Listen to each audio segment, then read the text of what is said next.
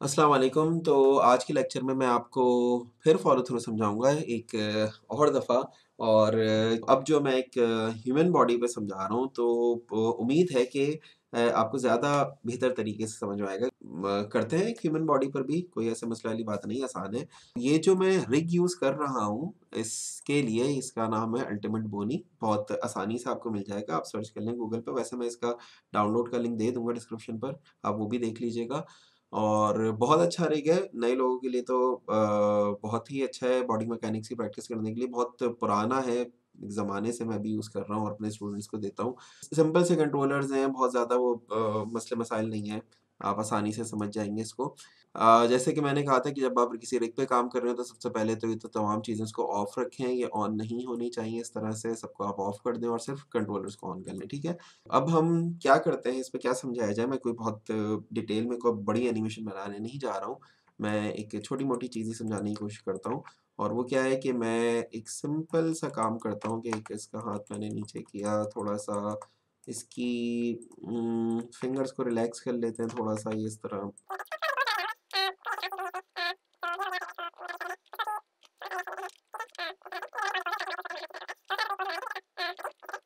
काम करें आगे और रिलैक्स पोज़ होता है, थोड़े से एल्बो हम कर लेते हैं। ये मैं जब आपको एक सॉलिड पोज़ की तरफ़ आऊँगा ना, जब एक प्रिंसिपल है सॉलिड पोज़, सॉलिड ड्राइंग तो उसमें मैं और ज़्यादा डिटेल में एक रिक को पोज़ करना सिखाऊँगा।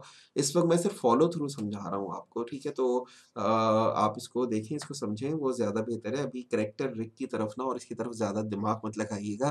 तो ये मैंने एक सिंपल सा इसका एक पोज़ मैंने इसका सेट किया अभी और अब मैं जो एनिमेशन बनाने जा रहा हूँ, वो क्या बनाता हूँ कि जनाब ये सिर्फ़ क्या करता है, अपना हाथ जो है यहाँ से लेकर जाता है ऊपर और सीधा कर देता है, ठीक है?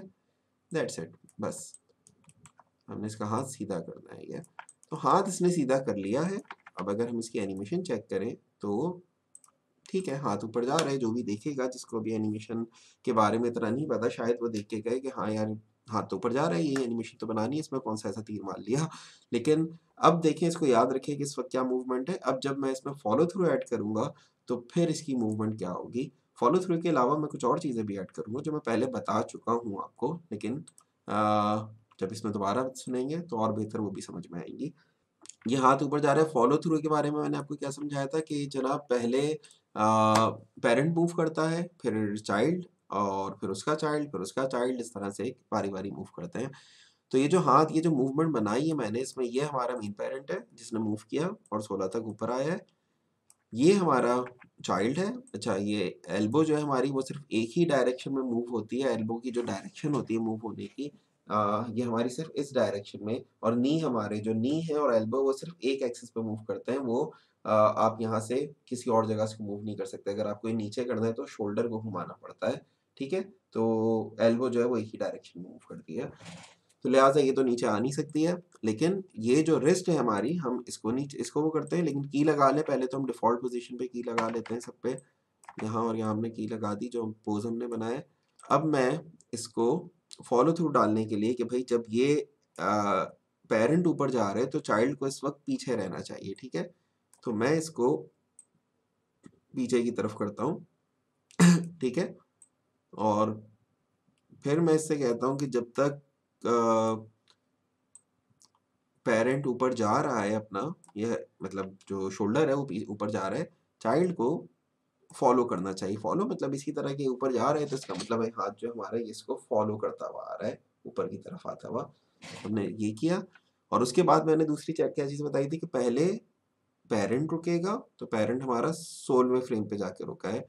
तो चाइल्ड जो है हमारा उसके बाद रुकेगा, ठीक है? तो प्ले करते हैं इस वक़्त हुआ क्या है? इस वक़्त देखिए पहले की नस्बत जो सबसे पहले मैंने एनिमेशन बनाई थी, उससे कुछ बेहतर नज़र आने लगा। पहले वाली जो एक बहुत रोबोटिक मूव थी, वो मैं मूव आपको जब तक इस वाले हाथ पे वैसे ही डाल के दिखा देता हूँ, ताकि आपको समझ में भी आती रहे चीज़ें। अ, ये देखें दोनों में आप फ़र्क देखें अभी। थोड़ी-सी मैंने सिर्फ़ इस पे एक इसको थोड़ा-सा फ़ॉलो थ्रू डाला है, अभी ज़्यादा काम नहीं किया इस पर, लेकिन फिर भी ये बहुत बेहतर नज़र आने लगा और ये वाली मूवमेंट जो बहुत ही ज़्यादा रोबोटिक नज़र आ रही है हमें। अच्छा दूसरी चीज़ मैंने क्या कही थी कि भई पहले पेरेंट रुकेगा, पेरेंट रुका 16 पर, चाइल्ड भी हमारा जो है वो सोलह पर रुक रहा है। तो हमने इसको कह दिया कि नहीं तुम्हें रुकना चाहिए 18 फ्रेम पे, दो फ्रेम के बाद हमने इसको कहा रुके। चला के देखते हैं, देखें थोड़ा-सा और बेहतर हुआ और क्लियर करने के लिए हम एक काम करते हैं इसको दो फ्रेम और आगे कर देते हैं कि 4 फ्रेम के बाद रुके। तो अब आप देखें, आपको और ज़्यादा बेहतर नज़र आने लगा, ठीक है? हालाँकि ज़्यादा है इतना इतनी देर में नहीं रुकना चाहिए इसको दो या तीन फ्रेम काफ़ी थे। तीन फ्रेम पे मैं कर देता हूँ, 16 पे रुका है तो उन्नीस पे, ठीक है? तो यहाँ पर हमें अच्छा एक फ़ॉलो थ्रू के साथ कि पहले पेरेंट ऊपर जा रहा है, चाइल्ड उसको फ़ॉलो करते हुए आ रहा है, हाथ हमारा मतलब ये है और उसके बाद फिर वो सीधा हो रहा है। तो एक तो ये चीज़ हो गई, ठीक है? अब हम क्या करते हैं जनाब कि थोड़ा-सा और आगे हमारे पास और भी जो है वो चाइल्ड्स हैं, तो उनको भी हम ज़रा देखते हैं, जैसे ये फिंगर्स हैं इसकी, ठीक है? हम फिंगर्स पे भी जाते हैं और हम कहते हैं कि भाई मज़ीद इसको थोड़ा-सा फ़ॉलो थ्रू ऐड किया जाए फिंगर्स पे भी, ठीक है? तो आते हैं इस पर, जब ये जो इसकी मूव बनी है, सिर्फ़ हमने कलाई को मूव किया था, अब हम इसको अभी एक इसको मज़ीद फ़ॉलो करवाते हैं।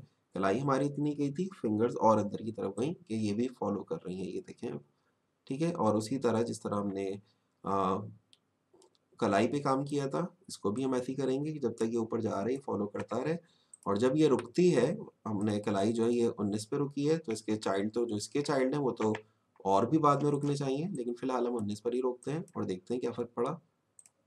ये। ठीक है ना? और बेहतर एक बड़ा अच्छा-सा एक फ़ॉलो थ्रू हमें नज़र आने लगा, अभी से हमें, ठीक है? इतना भी काम मतलब मैं जैसे-जैसे करता जाऊँगा, जो लोग एनिमेशन के बारे में नहीं जानते हैं, उनके लिए तो शायद वो पहली ही मूव जब मैंने ये वाली भी बनाई थी सीधी-सीधी सी, वो भी शायद काफ़ी होगी कि हाँ यार, सही तो हो रही है। लेकिन जैसे-जैसे वो इनमें फ़र्क देखते जाएँगे उनको ज़्यादा बेहतर अंदाज़ा होता जाएगा कि कौन-सा हाथ रियलिस्टिकली मूव कर रहा है और कौन-सा जो है वो रोबोटिक लग रहा है बहुत ज़्यादा, ठीक है? अब इसमें एक चीज़ जो मैंने कहा कि पहले भी मैं आपको बता चुका हूँ जिसके बारे में, वो भी हम इसमें ऐड करते हैं। वैसे तो बहुत सारी चीज़ें हैं, जैसे कि टाइमिंग एंड स्पेसिंग इसमें आपको नज़र आ रही है, सही है? ये जो मूव हो रहा है, ये ज़ीरो से सोलह तक गया ये टाइमिंग और यहाँ से यहाँ तक इसने एक स्पेसिंग कवर की है, तो वो टाइमिंग और स्पेसिंग तो मैं बार-बार कहता रहूँगा, समझाता रहूँगा हर दफ़ा कि उसके बिना तो एनिमेशन होती ही नहीं है। हाँ, इसमें स्क्वॉश एंड स्ट्रेच नहीं है अभी फ़िलहाल कहीं पर और अब हमने जो इसमें ऐड करनी है चीज़, वो क्या है? मूविंग होल्ड, ठीक है? जो हमने बॉल बाउंस में भी मैंने आपको समझाया था, इसमें भी आपको समझाता हूँ कि मूविंग होल्ड हमें किस किस तरह का चाहिए। अब देखें, जिस वक़्त ये आके रुका है ना, ये हमारा शोल्डर, ठीक है? आखिर में आकर हमारी ये जो सेटल हो गया जो कलाई है, फिंगर्स हैं, वो बाद में आ रही हैं, बिल्कुल सही है।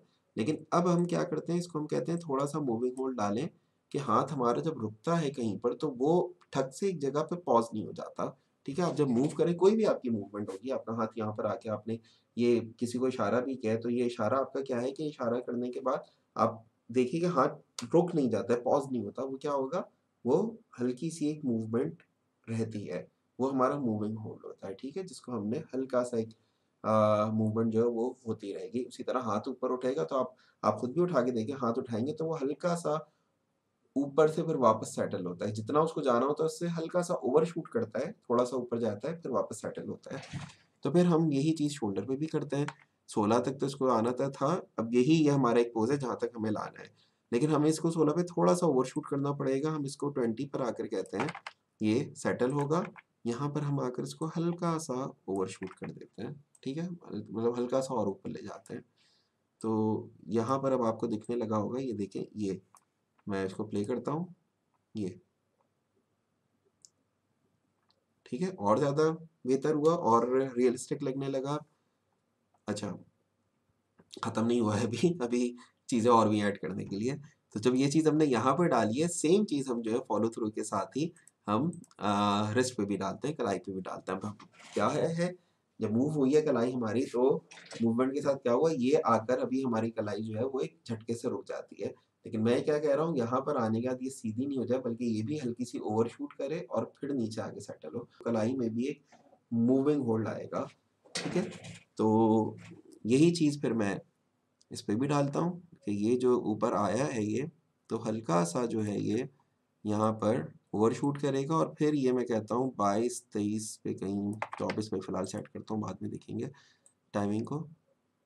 ओवरशूट किया हमने। ये चीज़, ठीक है? तो अब हम प्ले करके देखते हैं।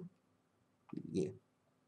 तो यहाँ पर हमें जिस जिस जिस तरह हम चीज़ें ऐड करते जा रहे हैं, वो चीज़ हमारी मज़ीद बेहतर होती जा रही है अब यही चीज़ जो हमने यहाँ पर ऐड की है आगे मजीद भी तो चाइल्ड है और भी तो उनको उन पर भी तो आना चाहिए ये क्यों खामोश बैठे रहेंगे उनको भी हम जाते हैं सेलेक्ट करते हैं उसको भी हम कहते हैं कि थोड़ा सा ये भी ओवरशूट करे और ये भी बाद में आके सेटल हो तो यहाँ पर आकर हमने इसको भी ओवरशूट किया एक बड़ी मज़े की कार्टूनी मूव आपके सामने ना बननी शुरू हो जाएगी। आप चाहें तो और मज़ीद डिटेल में जाकर आप अलग अलग भी इसको मज़ीद बेहतर जो है वो एक, जब आप बहुत ज़्यादा डिटेल में काम करेंगे तो आपको शायद इतनी डिटेल में भी जाके काम करना पड़े। ठीक है? प्ले करते हैं। ठीक है? देखें और ज़्यादा बेहतर।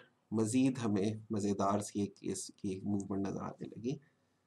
सही तो देखिए दोनों में कितना फ़र्क है। ठीक है? तो ये हमारे पास एक अच्छा आ रहा है। मैं कर्व वगैरह ऑफ़ करके देखता हूँ तो आपको और ज़्यादा क्लियर नज़र आएगा। ये लेकिन आपको समझ आ गया होगा, मैं इसको और ज़्यादा अगर साइड वाइड से भी दिखाऊँ, तब भी आपको घुमा के दिखाता हूँ। यहाँ पर आप देख रहे हैं किस तरह से इसका जो मूव कर रहा है, ये चीज़। तो एक मज़ेदार सा मूव बन रही है और ये हमारे पास बहुत रोबोटिक मूव है। इसको अगर हम सिर्फ़ देखें तो ये बहुत रोबोटिक है और अगर हम सिर्फ़ इसको देखें तो ये हमारे पास बहुत रियलिस्टिक मूव बन रही है। ठीक है जी तो ये तो हमारे पास एक एग्जांपल हो गई। एक और एग्जांपल जो है वो मैं करके दिखा देता हूँ बॉडी के लिहाज से कि आर्म्स को ऑफ़ कर देता हूँ अभी फ़िलहाल सर बॉडी दिखाऊँ। अच्छा जी तो बॉडी के लिए हमने क्या किया? हमने ये सारे कंट्रोलर सेलेक्ट किए की लगाता हूँ उसमें यहाँ पर। और जनाब, ये जो है, मैं इसको कहता हूँ कि अभी सोलह फ्रेम पर मैं इसको रखता हूँ कि ये नीचे आ जाए।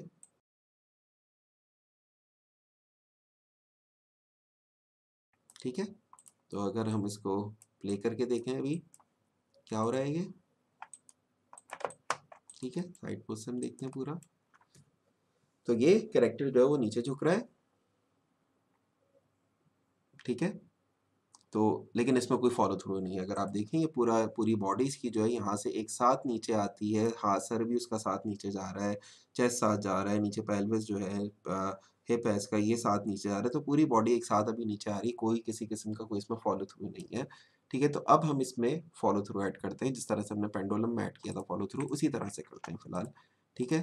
सबसे पहले जो है इसका ये पेल्विस जाना चाहिए, और ये इसका पैर चाइल्ड है, इसको, ये बिल्कुल इसके साथ लगा हुआ है, ज़रूरत नहीं है इसकी, हम इसको छोड़ देते हैं अभी, इनको जो है हम आगे बढ़ा देते हैं थोड़ा सा दो फ्रेम आगे करते हैं, उसके बाद मैं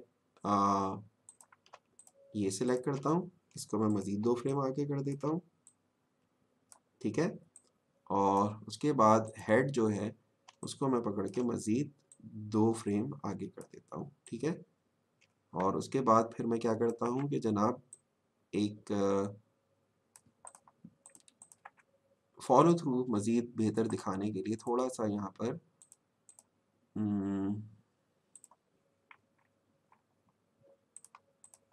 सॉरी यहाँ नहीं, इसके पहली जो की है, हमने चेस्ट को सिलेक्ट किया ये अभी पीछे ही रहेगा। हेड को सिलेक्ट किया, यहाँ पर हमने हेड को कहा थोड़ा सा पीछे रहे। फॉलो कर रहा है ना, ये ये चीज़, ये, आपको नज़र आ रही है, ये चीज़ आई। और प्ले करते हैं। ठीक है, आपको ऑलरेडी मेरे ख्याल में फॉलो थ्रू इसमें नज़र आने लगा होगा। हम थोड़ा थोड़ा सा इसमें जो है वो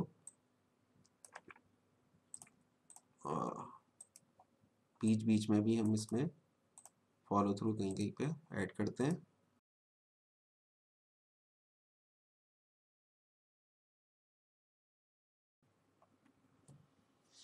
सही? तो अब आपको एक बॉडी जो है थोड़ी सी बेहतर मूव होती हुई फॉलो थ्रू के साथ मूव होती हुई नज़र आ रही है कि ये जब जिस वक्त नीचे आया उस वक्त हमारी जो बॉडी है वो ये पेल्विस की हमारा मेन पेरेंट है। और उसके बाद इसके जितने चाइल्ड हैं, उन्होंने उसके बाद उसको फॉलो करना शुरू किया। ठीक है? और एक बड़ा अच्छा हमारे पास फिर एक मूव बनी।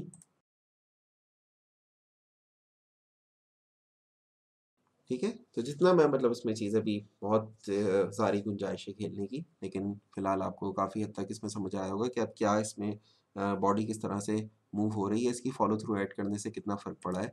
और इसके बाद अगर ये यहाँ पर मैं कहता हूँ, वही थोड़ा सा इसमें मैं कहता हूँ कि भाई ये नीचे आता है तो जो मैंने भी मूविंग होल्ड की बात की थी, मूविंग होल्ड भी ऐड करते हैं हम तो जब तक ये हेड इसका सेटल हो रहा है, हम यहाँ पर इसको, पेल्विस को कहते हैं कि भाई, थोड़ा सा इसको ये ओवरशूट कर जाए, हल्का सा इस तरह से, और फिर वो सेटल हो जाए।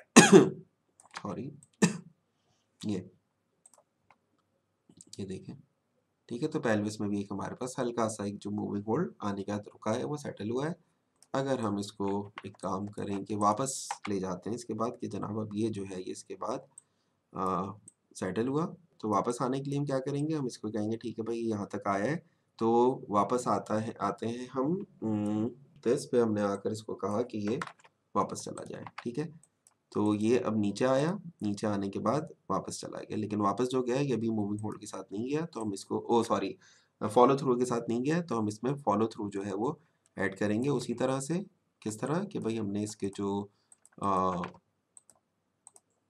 की कंट्रोलर्स हैं, इनको हमने कहा कि ये दो दो फ्रेम के गैप से जो है उठना शुरू हो जाए, ठीक है?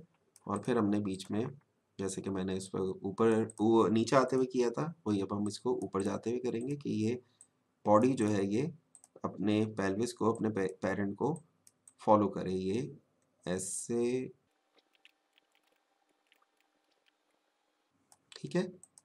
ये देखें ये और फिर ये वापस सेटल होती है। ठीक? आई थिंक आपको समझ आया होगा, कुछ मैंने कोशिश तो की है। और उम्मीद है कि बहुत हद तक आपको चीज़ें इसमें और क्लियर हुई होगी कि जब बॉडी पे एक फॉलो थ्रू आता है तो उस पर क्या इम्पेक्ट आता है कैरेक्टर पे किस तरह से वो मूव करता है और एक रोबोटिक मूव और एक रियलिस्टिक मूव में फ़र्क समझ में आया होगा। उम्मीद है, मैं कुछ समझाने, समझा सका हूँ और इन ताला आप इस पर काम करें, कोशिश करें। तो खेलते रहें इससे और जिस हद तक प्रैक्टिस करते रहेंगे, चीज़ें करते रहेंगे, उतनी बेहतर होती जाएगी।